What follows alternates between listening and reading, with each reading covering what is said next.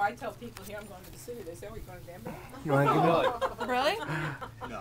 Yes. I mean, it's like my neighbor today. I'm going to Connecticut. Ah, Oh, my friend was up there. Yeah, it's like three hours away. Right? another one for The you. whole state. three times, man. Yeah. My friend was up there. No, you gotta give it up. Marianne, Yeah. talk What do you about like? three shrimp on here without touching. You How about two and a half? Do you want cocktail sauce? Yes, please. You know, I feel like with that spice, you can come up with a new sauce. Yeah, good. The garam. Lauren and Mo just brought that. sauce. Because But, uh, I bought one up here that was terrible.